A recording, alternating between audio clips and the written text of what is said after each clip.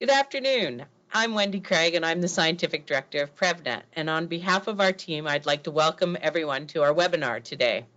Wherever you are located, please join us in acknowledging and thanking the generations of Indigenous peoples who have cared for these lands and in celebrating the continued strength and spirit of the Indigenous peoples. We are bringing today's webinar from the Community of Practice to address teen dating violence funded by the Public Health Agency of Canada. Today's webinar, The Neuroscience of Trauma, Strategies for Professionals Working with Youth Who Have Experienced teen Dating Violence, is being led by Dr. Marla Buchanan from the University of British Columbia. Before I introduce Marla, I'd like to go through our webinar format for today. Marla will present for approximately 55 minutes, and during her presentation, we invite you to type any comments or questions that you may have for her into the question and answer box at the bottom of your screen. We will track these questions and pull them at the end of her presentation and ask her some of these key questions. At the end of the webinar, in the chat box, you will see a link to the evaluation. That's the evaluation of this webinar.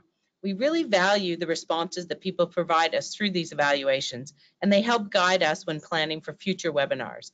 All of your feedback is anonymous, so please take the short period of time to complete the survey.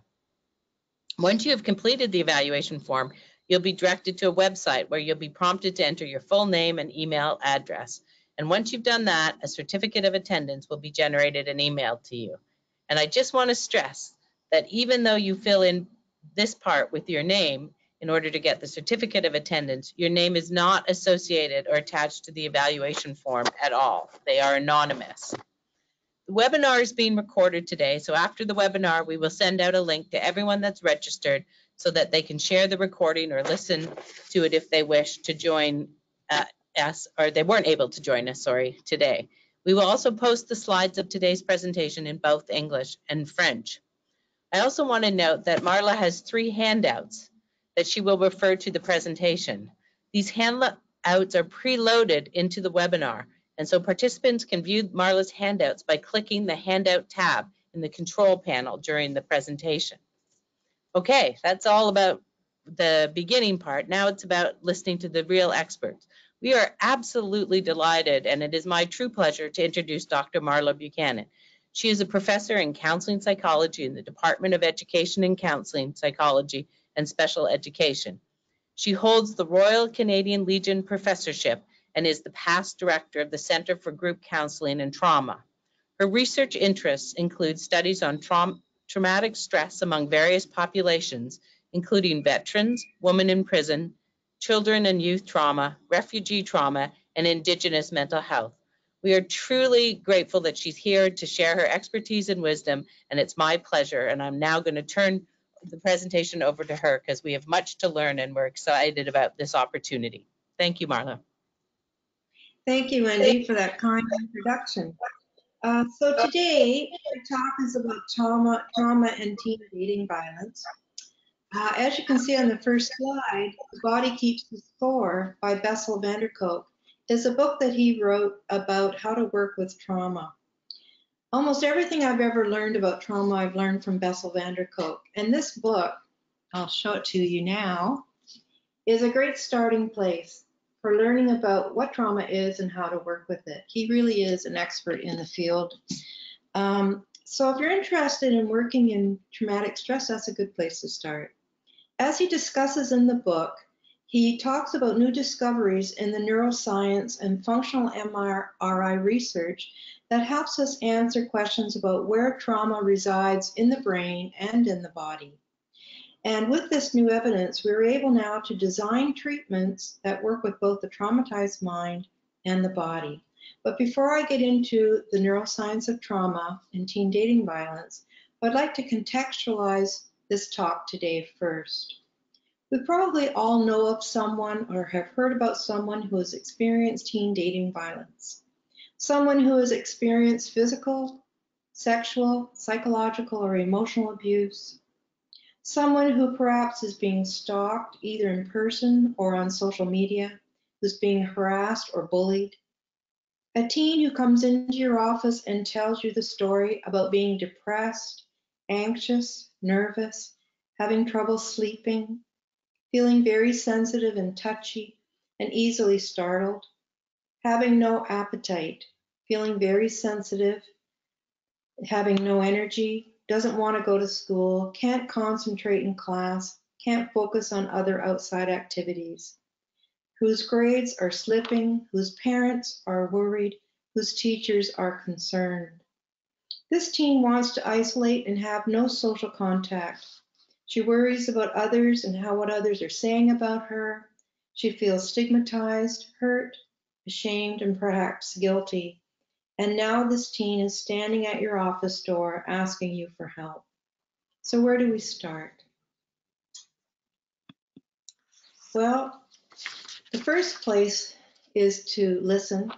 We try to make a meaningful connection with this teen by using empathy and compassion. And then we offer assistance by making a plan together. But what tools do you need to make that plan with this teen, especially if it turns out that this teen has developed post traumatic stress? So, just a moment before I get into the neuroscience of trauma, I want to explain what post traumatic stress is. There are four main symptom areas of post traumatic stress. And today we hear a lot of people talking about trauma. Everything's a trauma, like, you know, getting a B plus instead of an A is a trauma. But what we mean by post traumatic stress comes from the DSM 5, and it has four main criteria. The first being intrusive imagery, such as flashbacks, nightmares, night terrors. The second is hypoarousal symptoms, uh, such as an over-exaggerated startle response. The third area is avoidance and numbing out. Uh, and the fourth is mood changes, such as uh, depression or suicidal ideation. And the trauma has to be something that the individual felt was life threatening. And it has to persist for at least three months before it can be labeled as a post traumatic stress symptom or symptoms. So today's topic, I'm going to talk about the understanding of neuroscience that will assist you in working with teens who have experienced dating violence. The assumption here is that teens uh, I will be talking about have been traumatized by the events. Not all teens who have experienced dating violence will have trauma or will have post-traumatic stress symptoms, but some will. And so for those that come to your doorstep here's some suggestions I'm going to talk to you about, about what you could do about that. So the brain from the bottom up, the second slide. The reptilian brain is the brainstem and it comes online when we're born.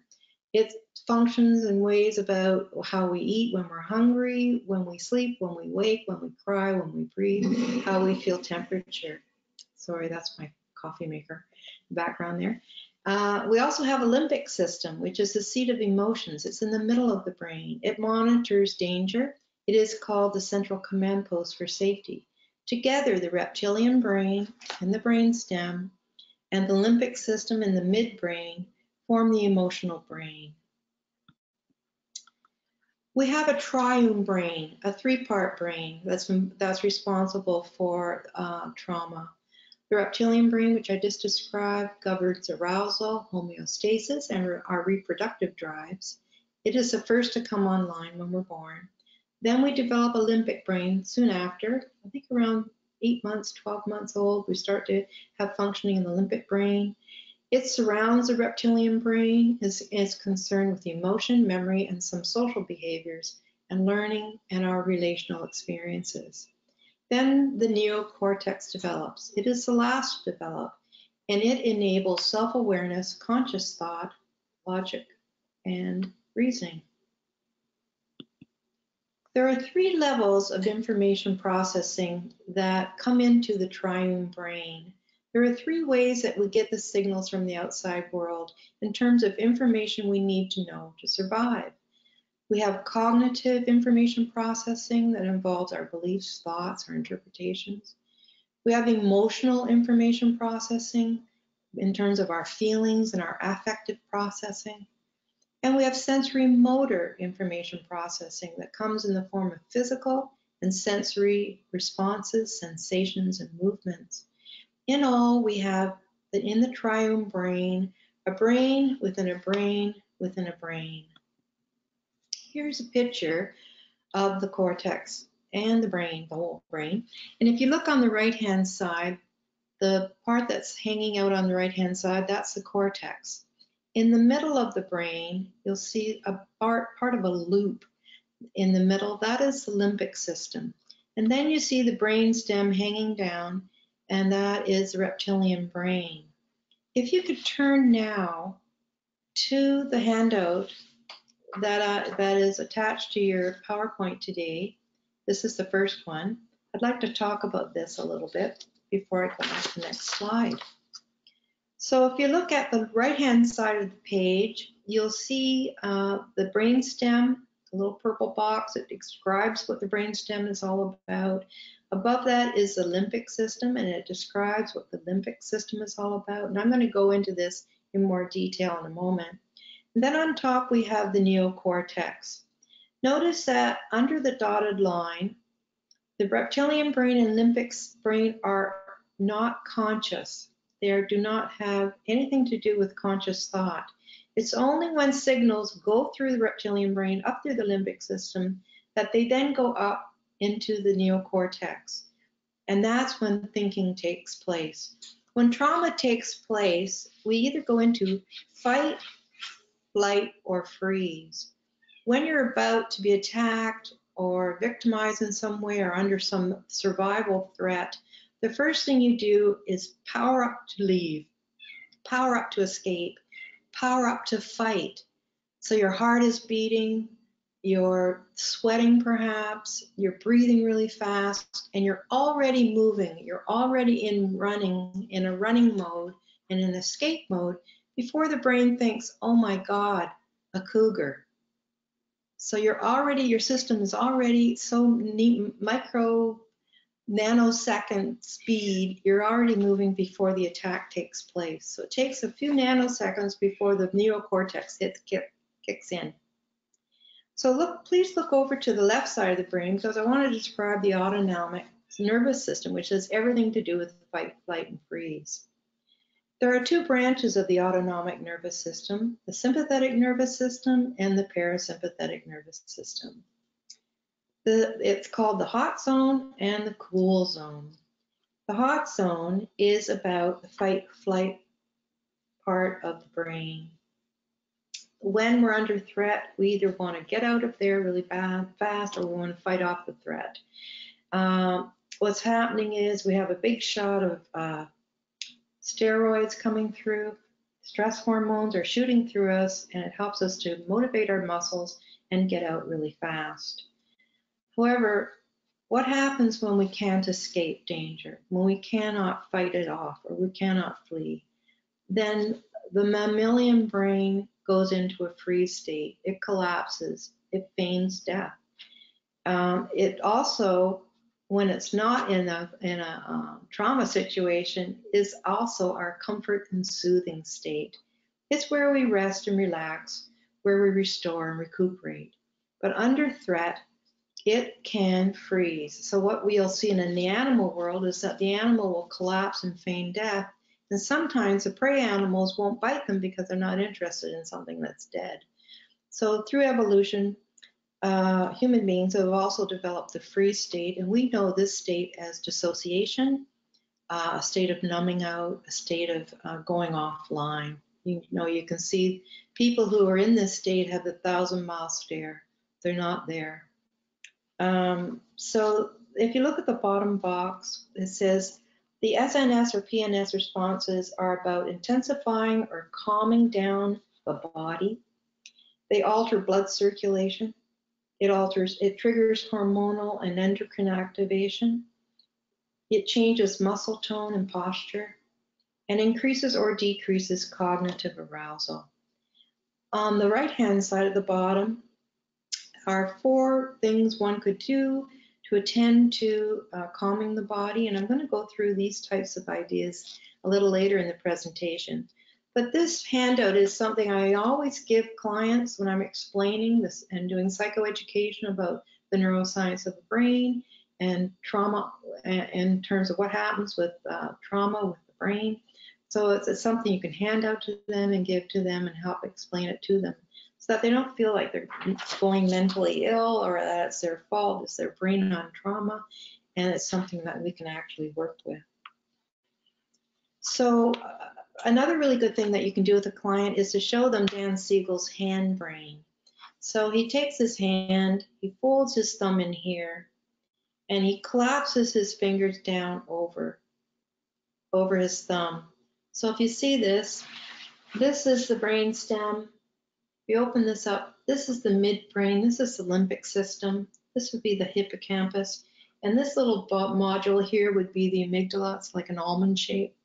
And then this is the last to develop. Actually, the neocortex, the brain structures continue to grow until about the age of 27. So the teen brain is not fully structured yet. And then this actually, in real life, folds down, folds down, folds down, and covers the limbic brain. That's how the brain develops. So on the next slide, I want to talk about what happens when trauma comes. Well, first, the limbic system commands the uh, sympathetic nervous system to prepare for fight or flight. If there's not enough time, it commands the body to freeze, which is a hypotonic response. Now, both the sympathetic and parasympathetic systems are highly activated. It is an analgesic effect, numbing the body and the mind. People report being in an altered state like going dead or being unable to fight back, are frequent reactions to physical violence, torture, and sexual assault. Post traumatic stress disorder is characterized by chronic autonomic nervous system hyperarousal. The alarm is almost always on. As the sympathetic nervous system arousal is always high, people wonder why they are so reactive and cannot handle the daily stressors of life. They actually think that they're going crazy. They don't understand why they're always triggered, why they're always exhausted by life events. There are four important parts of the brain that have everything to do with trauma. van der Kolk calls it the cook, the central command system, the hippocampus, the smoke detector, which is the amygdala, and the watchtower, which is the medial prefrontal cortex. I'm going to talk about each of these in turn. Well, I'm actually only going to talk about number two, three, and four. so here's the hippocampus. It has uh, been labeled as the seahorse of the brain. It, it has a shape like a seahorse, not upside down seahorse. And it receives input and sends messages to the amygdala and finally to the cortex. It is the central command station. Its essential structure for encoding and storing memory, and learning and plays a central role in our ability to compare different memories and make inferences from previous learning. Chronic stress can cause the death of the hippocampal neurons and shrinkage if the alarm has been on too long, and it is due to the effects of long periods of exposure to cortisol. That what happens then is that the hippocampus cannot infer past from present. It's always an alarm. So when you think about the work that we do in trauma, if we're able to do trauma repair, have people really work with their bodies to calm and be in a calm state, then the hippocampus actually comes back to growth. But those who've had trauma for a long, long time, uh, through brain scans, we've been able to see that the hippocampus actually shrinks and stops functioning. So the alarm is constantly on, and the central command post is off offline. So the, the neocortex can't think, doesn't know what's going on. The body has its way with us, and there's no control. So the amygdala, this is the smoke detector. This is the alarm part of the brain. Um, it initiates the sympathetic nervous system. And with post-traumatic stress, it becomes overactive, which results in a generalization of a fear response so that the person increases his or her fearful behavior, always wants to be fighting something off, always wants to be flying and fleeing away, or always is collapsing into a numbed state like dissociation. This explains the overreaction as seen in dissociated people. Everything shuts down when they're triggered. So the alarm is what sets off all the triggers that clients feel on a daily basis. But what is the relationship between the hippocampus and the amygdala? Understanding this is important for clients. The relationship is extremely important to human experience and contributes significantly to top-down, left-right integration. The amygdala is biased towards right and down systems, and the hippocampus is biased towards left and top processing. So right and down systems are all about the emotional, the uh, sensory, the feeling states, and the up processing left side is all about the neocortex, information processing, cognitive, thoughts, thinking, reason, rationality. The amygdala has a major role in emotional and somatic organization, whereas the hippocampus is vital for conscious, logical, and social functioning. Their relationship will impact affect regulation, reality testing, resting states of arousal and anxiety, and our ability to learn emotional and more neural information.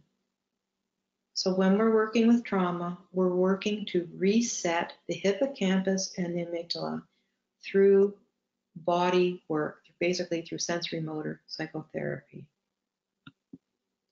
So the prefrontal cortex, the medial prefrontal cortex is where the memories and the understanding of what's going on in that traumatic event take place. It's a part of the cognitive processing system. It is the purple uh, side of this picture here. It regulates the generalization of the fear response and the overall increase in fearful behavior that's initiated by the amygdala. It suppresses the stress response and plays a role in regulation of cortisol, which is the stress hormone. It plays an important role in emotional regulation. It is important in the retrieval of memories when you're working in, in uh, trauma repair.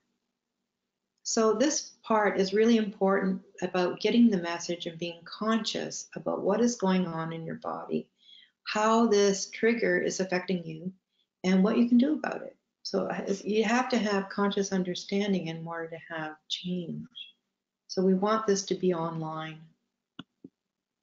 So Bessel says, learning how to breathe calmly and remaining in a state of relative physical relaxation even while accessing painful and horrifying memories, is an essential tool for recovery. Relationships. This is key in trauma in trauma work, well, in any kind of clinical work at all. The relationship is tantamount. It is everything. It's not just a relationship with clients, it's your relationship with yourself. It's your client's relationship with him or herself. And it's our relationship with our peers, our family, our neighbors, our outside world, and our communities. He states, you have to find someone you can trust enough to accompany you. Someone who can safely hold your feelings and help you listen to the painful memories from your emotional brain. You need a guide who is not afraid of your terror, who can contain your darkest rage, someone who can safeguard the wholeness of you while you explore the fragmented experience that you had to keep secret from yourself for so long. Most traumatized individuals need an anchor and a great deal of coaching to do this work. So he talks about in his book, The Body Keeps the Score, he talks about what needs to happen if you're going to work in the field of traumatic stress. So, first off, trauma profoundly changes how we perceive the world. And Janoff-Bulman wrote a book called, in 2010, wrote a book called Shattered Assumptions, in which she explains through research how three main core belief systems are shattered when trauma comes. The first belief system is that the world is benevolent. Now the world becomes malevolent. The world is not a safe place and there is no one that you can trust. Secondly, uh, is uh, they, what is shattered is meaningfulness. The world is meaningful. Now the world becomes meaningless. And it challenges our spirituality, our belief systems in terms of what is um, what is life worth living for if you can't trust and predict random acts of violence. And the third area is in uh, an area called the self is worthy. So we have a core belief when we're born that the self is worthy. But over a lifetime of stress and trauma, we come to believe that self is not worthy. Uh, trauma can really, really affect one's sense of self and one's identity in the world. So the work is about, the cognitive work about this trauma work is about addressing those three assumptive uh, worldviews and to get them back uh, into a healthy state. He also talks about trauma as a response to the whole organism. It's not just something in the brain, it's something that affects the whole body. Developmental trauma, when he's talking about developmental trauma, he's talking about early childhood adverse experiences. Um, if you don't know about the study by Vincent Felitti on adverse childhood experiences, I would suggest that you uh, Google that and read about it. Um, Vincent Felitti has done a study with over 17,000 people. He was able to determine that early childhood negative experiences, adverse experience such as neglect, abuse, physical violence, family violence, uh, abandonment, have huge impacts on our uh, emotions and on our bodies, on our ability to thrive and it has long-term, lifelong consequences into adulthood. So I would suggest you look that up because it's really an important thing you might want to share with people, share with teens about addressing this now would be important for having a better and healthier life. So we can directly train our arousal system by the way that we breathe, the way we sing, chant, the way we move, consciously move, interact with others. And basically, attunement is the core of affect regulation. Attunement with ourselves and attunement with others. It's all about the relationships internally and externally. It's about honing in on those, being consciously aware of those, and working uh, to make it be healthier. So, traumatized people need to have physical and sensory experiences to unlock the trauma within their bodies that has lots to do with why we're always triggered. We need to work on active, effective fight flight responses. So if you didn't get a chance to flee, then you do imaginative sort of visualizations of being able to flee or to fight it off more effectively. We have to learn how to tolerate our sensations understand our, our sensations first, our triggers, and then be able to tolerate them and to be, then be able to calm them down. We want to befriend our inner experience and we want to cultivate new action patterns. van der Kolk says very strongly that it is no longer about the talking cure in terms of traditional psychotherapy. We have to include the body in our work now. We have to learn somatic practices to help uh, repair the trauma. So how do we work with teens traumatized by dating violence?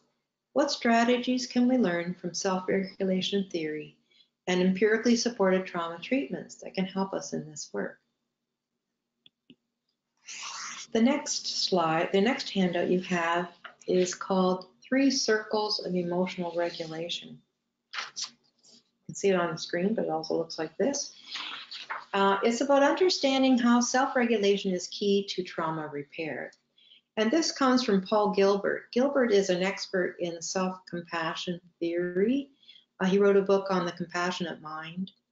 He and uh, Kristin Neff have lots of workshops and online courses on um, compassion, uh, self-compassion therapy. It's very effective. It's really helpful when you're working with someone who has a very critical inner mind, um, a mindset that's always attacking themselves, putting themselves down. It's very shame, shame-filled type of uh, cognitive processing. And self-compassion really does help with that internal critic. So he shows us here three systems, a drive system, a threat system, and a soothing system. The drive system, we can, you've already been, uh, I've already talked to you about the thrive and the drive and threat system, which is in the sympathetic nervous system side of the autonomic nervous system. And the soothing system is a parasympathetic system, that part of the, the nervous system. So the drive system is really helpful. It helps us achieve goals and complete tasks. It helps us feel motivated and vital. And the main hormone that's being shot through there is dopamine. But the threat system, its function is to manage threat, to protect us, to help us survive, and to seek safety. The main hormone being thrust out there is cortisol. We have that when we're feeling anxious, angry, disgusted, having sadness, depression, and feeling shame. In trauma, the drive system and the threat system are online most of the time, and the soothing system, as you can see in the box on the lower right, starts to shrink. The soothing system's function is to slow down, to soothe, to find rest, and to digest, to feel safe, have kindness and care. Its related hormone is oxytocin, and it helps us feel content, safe, and connected. So I think this is another thing that you can share with teens to talk about what's going on before you start teaching them self-regulation, and emotional regulation, regularization strategies. It might be helpful for them to understand the systems that are at work there. And also, if you now turn to the next handout, which is on the window of tolerance, this window of tolerance comes from Dan Siegel's work on mindfulness and also from Pat Ogden's work in sensorimotor psychotherapy. The idea is that we don't want to work with a client or with a teen who is hyper aroused or hypo aroused because nothing will happen. The repair will not take place. The information is not going to sink in. We need to be working with people in the comfort zone. So the window of tolerance when you first start the work might be very narrow, but over time as you teach self-regulation strategies and work with triggers and work with support systems and resourcing, that window of tolerance will grow and the hyperarousal and the hypoarousal states will shrink. If you look at the top, hyperarousal people in the fight-flight response, if you see the bulleted list, this is what they're experiencing anxiety, anger, feeling rigid, maybe having addictions and overeating, having obsessive compulsive thoughts, feeling impulsive. And if they're in the hypoaroused state, they may be dissociated, they may have memory loss, they may feel shut down and disconnected. They may feel separate from self and others and from their feelings. So if you look at the little orange box on the right hand side in the zone, the comfort zone, the regulated zone.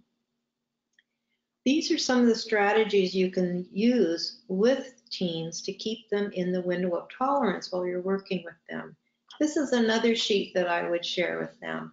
It's psychoeducational and it explains to them when you say to them, okay, time out, time to take some breaths, time to uh, calm down and regulate.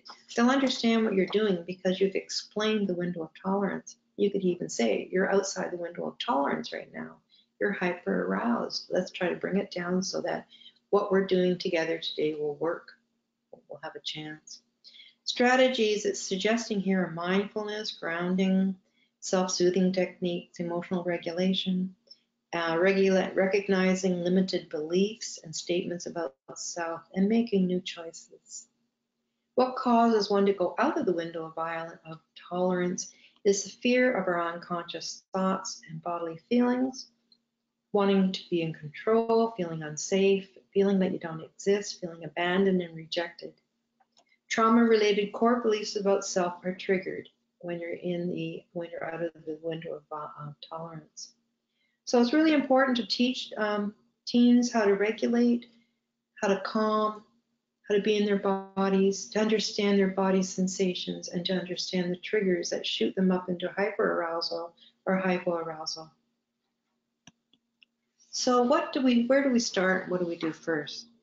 Well, in trauma therapy, safety is always first. And what that means is safety on many different levels. So you want to initiate strategies to restore a sense of safety in your relationship together. How safe is your office space? How comforting and soothing is it? How safe are you? Are you regulated? Do you come in with a strong sense of calm, uh, empathy, and compassion? And does the other person coming towards you feel that? Can they feel the safeness of you? Then we want to teach uh, teens how to internally feel safe within themselves. I'm going to go through some strategies next about how to get that internal safety. Um, the next part, and you don't want to do any trauma work until you have safety and a, real strong sense that they internally can handle and get to safety quickly so that they can stay within the window of tolerance.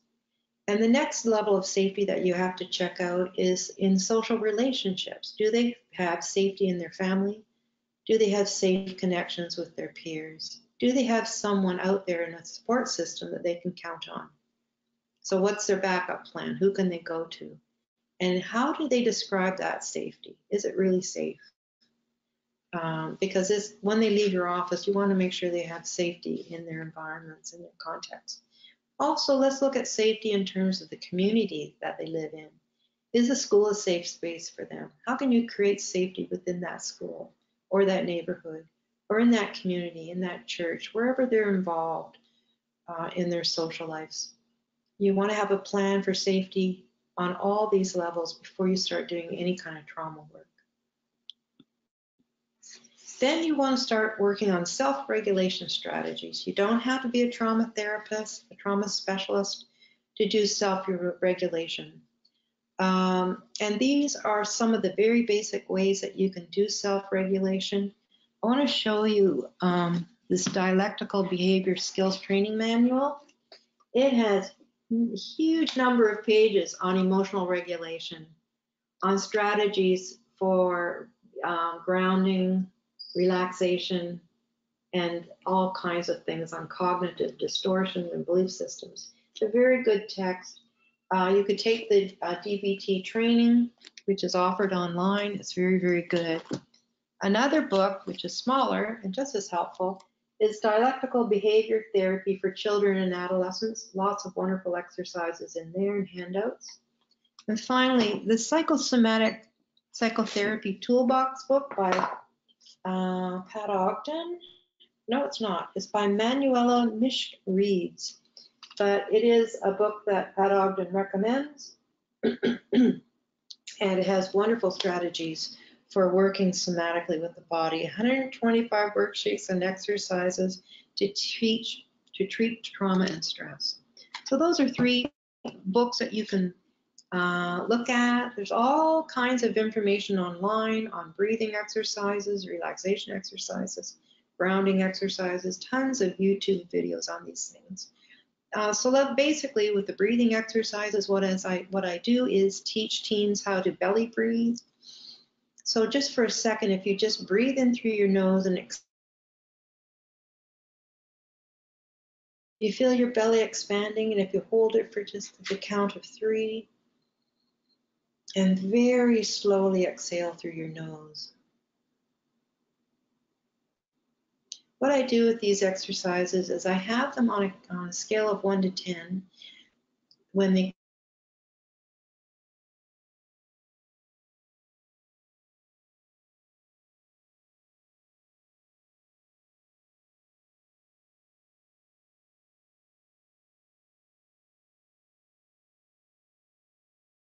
is very brief, three to five minutes of these exercises and have them do another count. Always it comes down. And what they're learning is that the triggered state, the, un the uncomfortable state, is really transitory. It's a very short, it's something that can be very shortened. It's not something that you're always feeling, not with you 100% of the time. So uh, some self-soothing exercises that you can use come, come I take from Peter Levine's work on somatic experiencing and from Pat Ogden's work. One is Peter has you put your hand over your heart and put your hand, other hand here and do a little bit of a grip. Try that right now. It's like holding yourself. And you know, when you're doing this, no one's really noticing that you're doing this. Teens can do this in the classroom or in the hallway. No one's going to know. Pat Ogden does a butterfly where you're just tapping And this is a wonderful way of regulating the body. And you can also tap, if you're sitting and you have a desk, under the desk, you can tap on the top of your thighs. And that helps just regulate the body down to a comfort zone. There are many self-soothing exercises that you can use. Um, emotion freedom technique, which is also called tapping by Nick Ortner.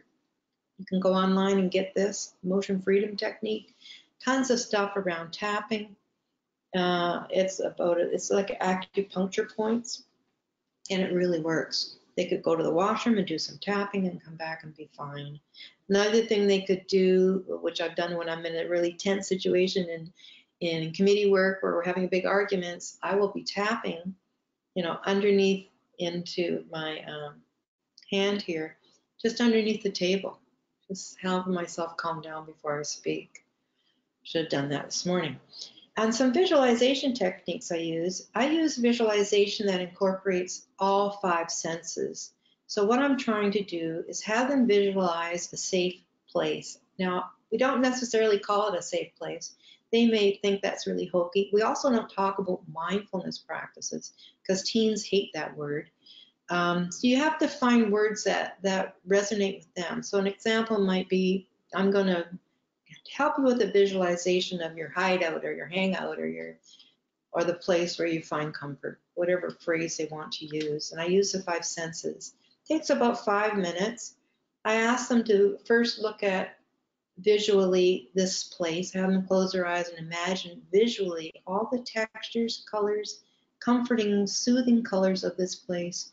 Then we go to sound. What do you hear? What sounds are soothing and comforting to you? really zoning into that. Then what they feel, so touching something that brings them comfort, having something there um, that wraps them up or um, soothes them in a textual, in a, in a tactile way. Then we talk about taste, bringing foods, comforting foods, uh, nurturing foods. And then we talk about, well, I did visual, hearing, taste. Oh, tasting. Yeah, I think I've done all five. I can't remember if I've missed one. But anyway, you get the idea.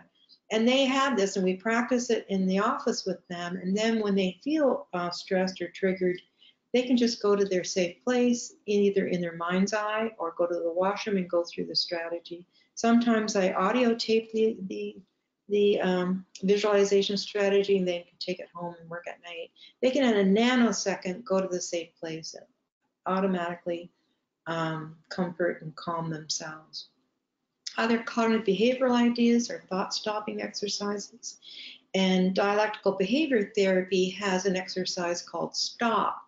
So let's say they're triggered, they're really, really angry, they're in a rage. What they learn to do is stop, just stop, think, observe their internal response and process it before they act, before there is some kind of consequence. That really is helpful.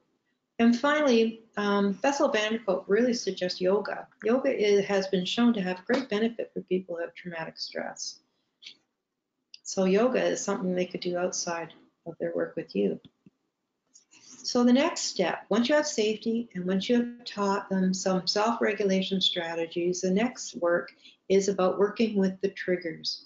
So they have to understand the neurobiology of the trigger. And those worksheets I've given you uh, before here on the autonomic nervous system and how the brain works on trauma is a psychoeducation that they need to understand um, to understand how the triggers work.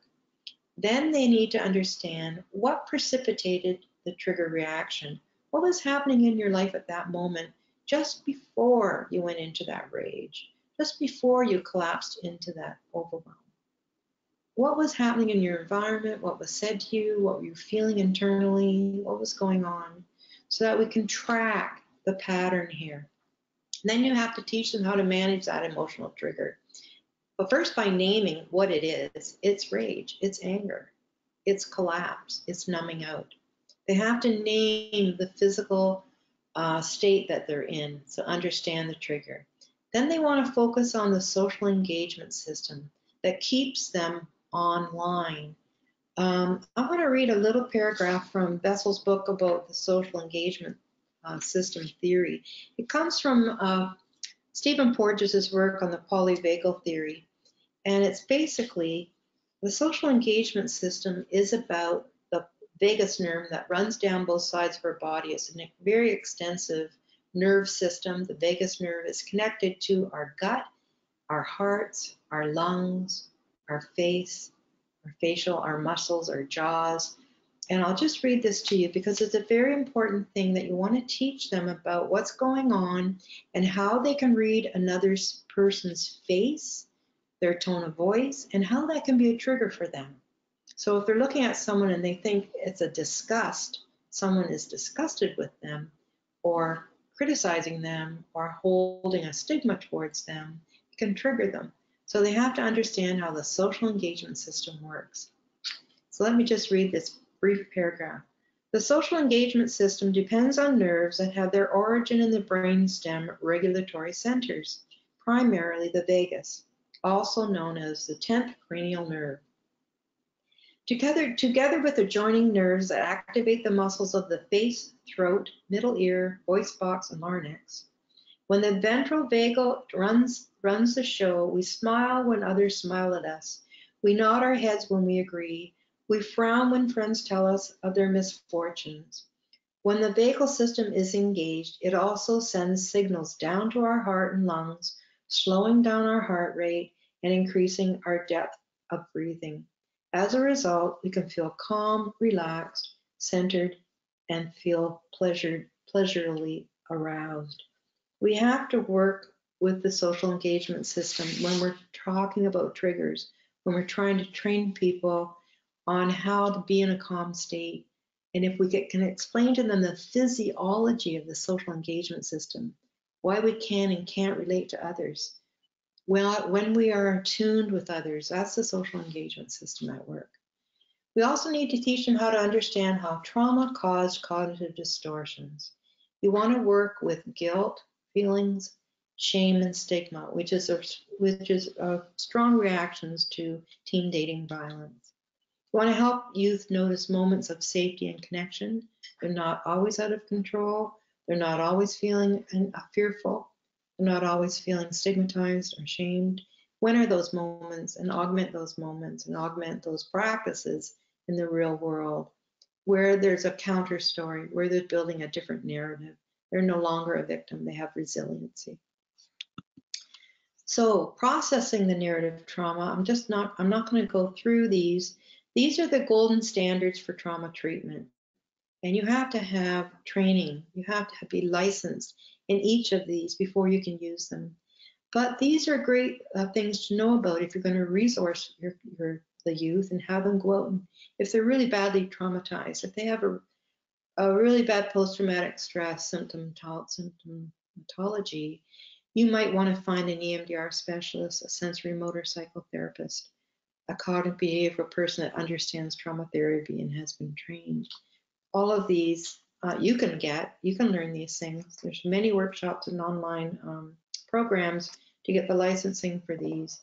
But these are the main standard, uh, golden standards that are out there for trauma treatment. So there are some interventions though that you can use in schools, you can use in agencies, you can use in the community.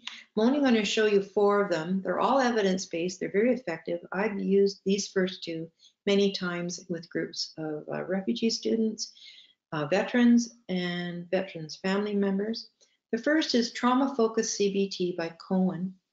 Uh, trauma focused CBT is an empirically validated intervention for treating children and youth exposed to traumatic events. It's a structured manualized program. Uh, you can get the training online. These are uh, what it covers. It includes a trauma narrative processing module. CBITS, Cognitive Behavioral Interventions for Trauma in Schools, is also very popular.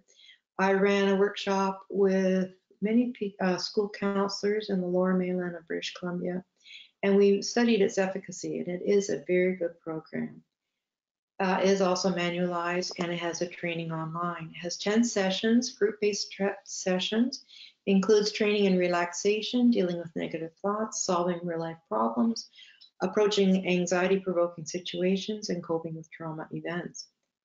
Uh, it also has parental support. It includes individual sessions, four group parenting meetings, and an educational session for teachers.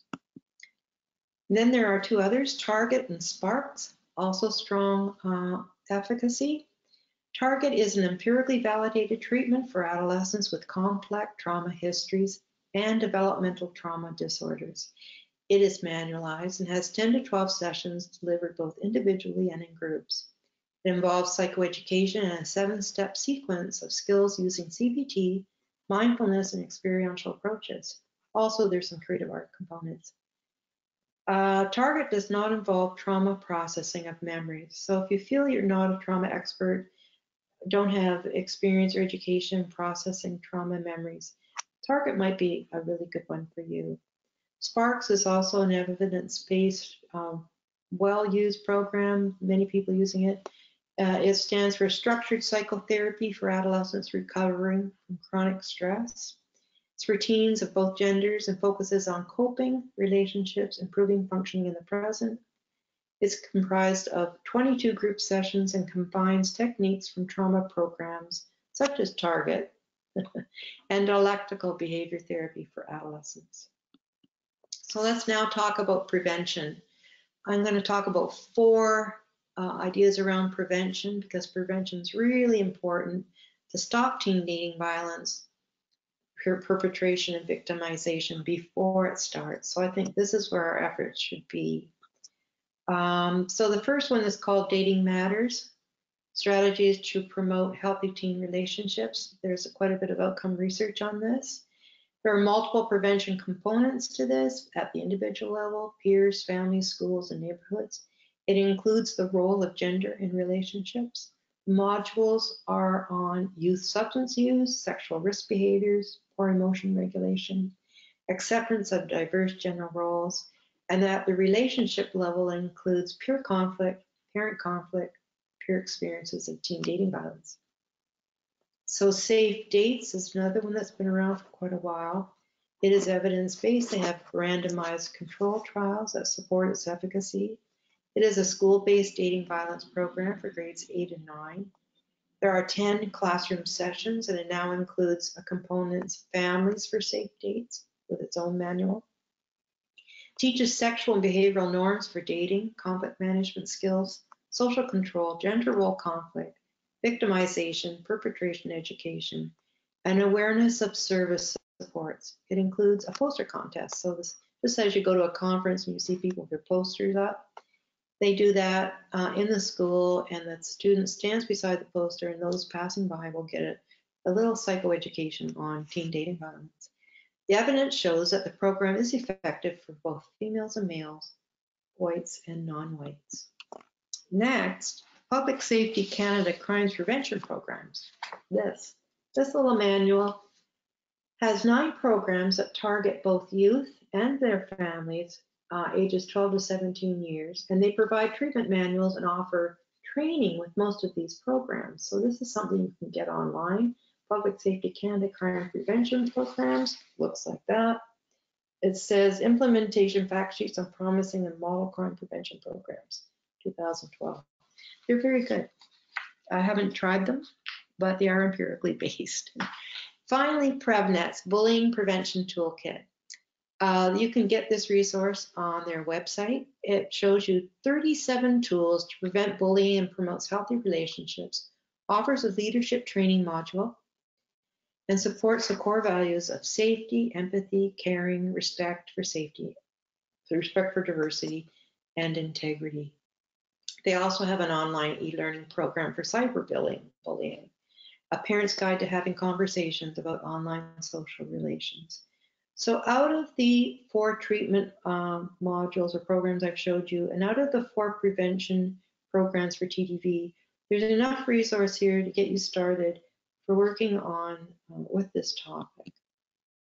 Here are some of the references that I've used today and finally, here are some of the websites for trauma and TD, teen dating violence resources. There are so many more, but I have run out of time, and that's where we're at. So, thank you. Any questions or comments? Back to you, Wendy. Well, thank you very much. It's been great uh, to have you, and, and we're delighted uh, that you were able to share the knowledge. And I really appreciated that you took us from theory to practice to program and back. So that was just a wonderful, engaging, and thoughtful presentation. Um, we are uh, now um, opened up the, the side for questions. So if anybody had any questions, please feel free to, to put them in. Um, I guess one of the things that I had as a question just while we're waiting was, um, what do you see as the most important components to have in a teen dating violence program Wow. based on sort of understanding trauma and addressing trauma?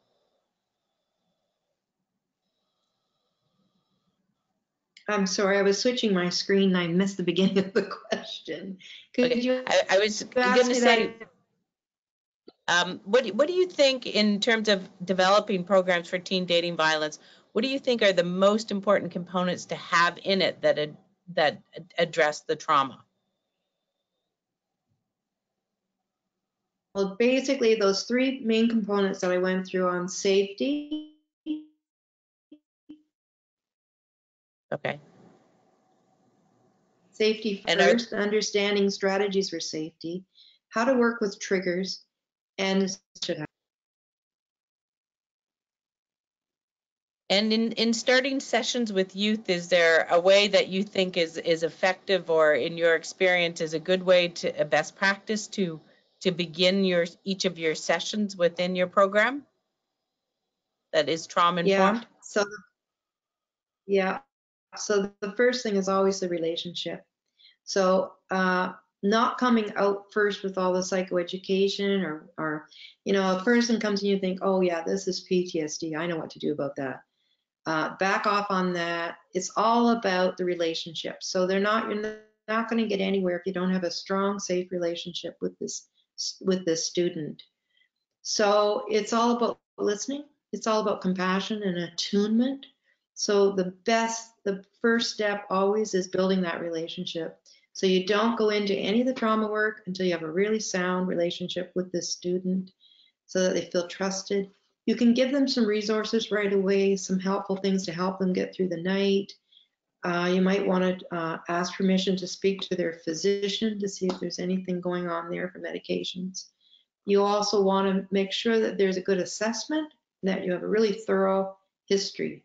So we may be looking at complex trauma, a child that has a history of abuse and neglect, and you might not know that. You might think they're there for the teen dating violence incident, but it might be something much bigger than that. So you have to have a thorough history, but you have to have permission to get that history. And you want to take time talking about that because it could be very triggering to get that history. Okay, and, and how do you take, um, you know, I think a lot of what you've been talking about is, is um, working on one-on-one. How do you take some of these concepts to groups? Okay, so before I would put a teen in a group, I would do self-regulation strategies, just what I said about safety first, this, a little bit of psychoeducation, getting all the background information and preparing them for group. So do they have the skills to be grounded, to be able to listen to somebody else's tragic story without getting triggered? Can they manage triggers? Then join a group. And all the people in that group, if it was my group, would have these skills.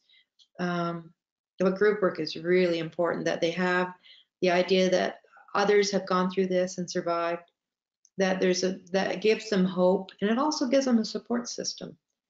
Um, and they can learn so much from each other, seeing how others struggle but also manage to move on and get better. Okay, great. Um, I'm just checking. I, I don't seem to see any more questions. Uh, so I think I think we'll uh, just say another huge thank you for all of your work and for your thoughtful presentation. And we're really grateful that you took the time to share your expertise with us today. And to the webinar members, I would ask that you would please remember to fill out the survey and the evaluation to ensure you get your certificate of, of attendance and ensure that we are putting on webinars that meet your needs. So thank you, everybody, and have a great day. Goodbye. Thank you. Bye.